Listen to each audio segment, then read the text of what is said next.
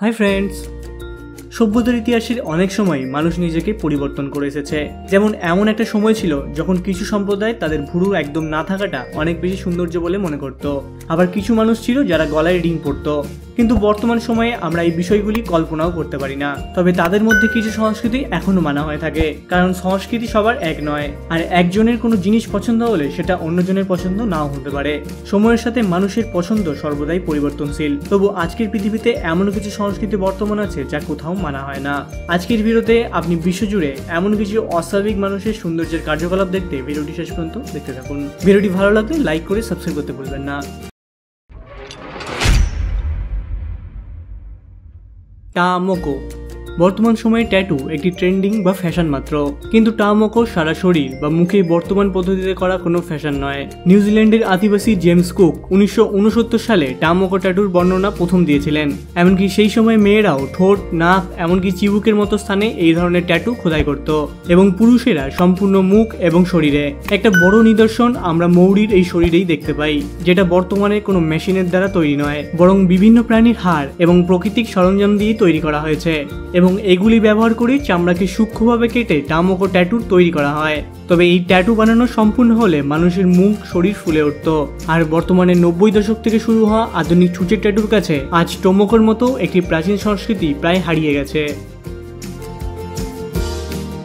Teeth সার্ফেনিং সাধারণত আধুনিক দাঁতের ডাক্তাররা প্রায় সব দেশেই তাদের নিজেদের দাঁতের সমস্যা বা ঠিকঠাক আকৃতিতে আনার চেষ্টা করে থাকে এবং তা না করা গেলে এই রকম দাঁতগুলি সরিয়ে ফেলে। তবে এইসব ছাড়াও একটি সংস্কৃতির প্রচলন রয়েছে, তা হলো দাঁতকে ধারালো করা। অনেকেই এইসব উদ্ঘট ধরনের অপারেশন করে থাকে। শরীরের ধরনকে পরিবর্তন করার জন্য, বিশেষ করে বালি বা পোটান্ট গিগির মতো জায়গায়। এই ধরনের প্রচলন শুরু হয় শুধুমাত্র এটা প্রমাণ করার জন্য যে তারা বর্তমানে বাকি প্রাণীদের থেকে আলাদা এবং সে একজন মায়ান সংস্কৃতির প্রাপ্তবয়স্ক এবং উচ্চ সমাজের মানুষেরা তাদের দাঁতকে সর্বদাই ধারালো এবং শক্ত রাখে। কিন্তু কিছু সংস্কৃতির লোকেরা নিজেদের শিকারী প্রমাণ করার জন্য দাঁতকে শার্পও করে থাকে।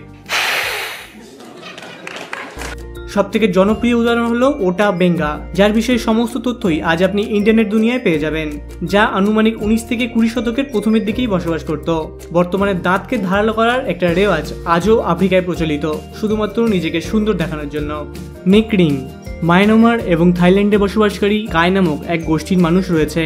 যারা এই ধরনের রিং ব্যবহার করে শুধুমাত্র তাদের গলাকে প্রসারিত করার জন্য, যা হয়তো সারা বিশ্বের আর কোথাও দেখতে পাবেন না। যেখানকার স্থানীয় মহিলারা তাদের গলায় এই ধরনের পিতলের রিং ব্যবহার করে থাকে। তাদের মতে, তারা এই রিং মাত্র পাঁচ বছর বয়স থেকেই পড়া শুরু করে দেয়, যাতে তাদের গলার উচ্চতা বাড়ে। এবং তার থেকে বড় কথা, এটা পড়লে নাকি তাদেরকে অনেক বেশি সুন্দর দেখায়। পিতলের রিং অনেকটা স্প্রিং এর মতো কাজ করে এবং রিং এর ওজন গলার হাড়কে ভিতরের দিকে ঠেলে এবং গলাকে প্রসারিত করে। তবে জেনে রাখা ভালো, এর দ্বারা হাড়ের দৈর্ঘ্য বৃদ্ধি পায় না। শুধুমাত্র হাড়ের সংকোচনের জন্যই এই রূপ চেহারা তৈরি হয়। কাই জনগোষ্ঠীর বিশ্বাস, তারা যদি এই রিং পরা বন্ধ করে দেয়, তাহলে হয়তো তারা মারা যেতে পারে। বর্তমানে অনেক ইয়াং মহিলারাই রিং পরতে অনিচ্ছা প্রকাশ করেছে, কারণ এটা থেকে শরীরের অনেক ধরনের প্রভাব পড়ছে। তবে এইসব জনগোষ্ঠীর প্রত্যন্ত গ্রামগুলিতে আজও লম্বা গলার মহিলাদের সাথে পর্যটকদের ছবি তুলতে দেখতে পাওয়া যায়।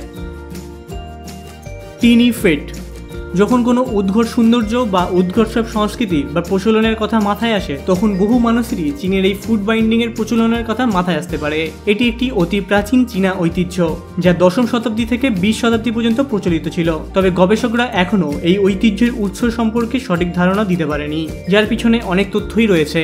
সবথেকে জনপ্রিয় তথ্যটি হলো সম্রাট লিও, যিনি তার স্ত্রীর নাম দিয়েছিলেন ইয়েনো ইয়াং।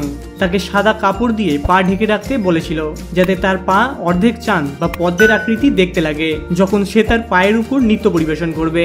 যদিও সম্রাটের এই চিন্তাভাবনাকে অনেকটাই উদ্ঘট বলে মনে করা হয়। এরপর থেকেই শুরু হয় এই ধরনের পা বেঁধে রাখার প্রচলন। বলাই বাহুল্য যে এই ধরনের পরিবর্তনগুলি পায়ের আকৃতিকে মারাত্মকভাবে বিকৃতি করেছিল এবং এই অভ্যাসের পর প্রায় অনেক মহিলারাই এই বিশেষ ধরনের প্রক্রিয়া ছাড়া চলতেই পারতো না। আপনার কি মনে হয়? আপনি কি এখন এইভাবে হাঁটতে পারবেন? নিচে কমেন্ট করে অবশ্যই জানাবেন। কিন্তু এই মহিলারাই তাদের এই আবদ্ধ পা নিয়েই মাঠে কাজ করেছে, নেচেছে, এমনকি সার্কাসে পারফরমেন্সও করেছে। তবে তাদের মতে, এটি প্রথমের দিকে খুব বেদনাদায়ক ছিল। তবে ভাগ্যক্রমে বহু শতাব্দীর পরম্পরার পর পা বাঁধার সম্পূর্ণভাবে ব্যান্ড করে দেয় উনিশশো বারো সালে। কিন্তু এটি সম্পূর্ণভাবে মুছে ফেলতে উনিশশো পঞ্চাশ সাল পর্যন্ত লেগেছিল এবং উনিশশো নিরানব্বই সালে লর্ড সুয়ের কারখানায় সম্পূর্ণভাবে বন্ধ হয়ে যায়, যে এই ধরনের পায়েরই জুতো তৈরি করত। স্কিন হোয়াইটনিং কিছু কিছু দেশের লোকেরা যদি খুব বেশি রোদে ঘোরে, তবে তাদের ত্বকে ক্যান্সারের মতো রোগ হওয়ার ঝুঁকি বাড়ার বিষয়ে সবসময় সচেতন করা হয় এশিয়ান দেশগুলিতে। আর এই সমস্ত দেশগুলি স্কিন হোয়াইটনিং বা ত্বককে সাদা করার জন্য বিশেষ ধরনের লেজার বা ক্রিমের ব্যবহার করে থাকে। তবে এগুলি আবিষ্কার হওয়ার আগে এরা বিশেষ ধরনের পোশাক, টুপি এবং ছাতা নিয়েই তাদের চামড়ার যত্ন নিত, শুধুমাত্র সুন্দর দেখানোর জন্য। কিন্তু রোদের মধ্যে কাজ করে অনেক সময় আমাদের চামড়ার উপরে ট্যান বা স্পট মার্ক তৈরি হয়ে যায়। তাই অনেকেই প্রবণতা থাকে ফর্সা হওয়ার। বিশেষ করে আমেরিকার মতো দেশগুলি মনে করেন তাদের কদর বৃদ্ধি হয় তাদের স্কিন কালারের উপর। ভিডিওতে দেখানোর সংস্কৃতিগুলির মধ্যে কোন সংস্কৃতিটি আপনার কাছে সব থেকে উদ্ঘট বা বিচিত্র বলে মনে হয়েছে নিচে কমেন্ট করে এখনই জানাতে পারেন। এছাড়াও ভিডিওটি ভালো লাগলে লাইক করতে ভুলবেন না। সেই সঙ্গে আপনি যদি সেরা দশে নতুন হন, তাহলে নিচে থাকা রেড কালারের সাবস্ক্রাইব বাটনে ক্লিক করে পাশে থাকা বেল আইকনটিও প্রেস করে নেবেন, যাতে এমন ইন্টারেস্টিং ভিডিও আপনি সবার আগে পেয়ে যান।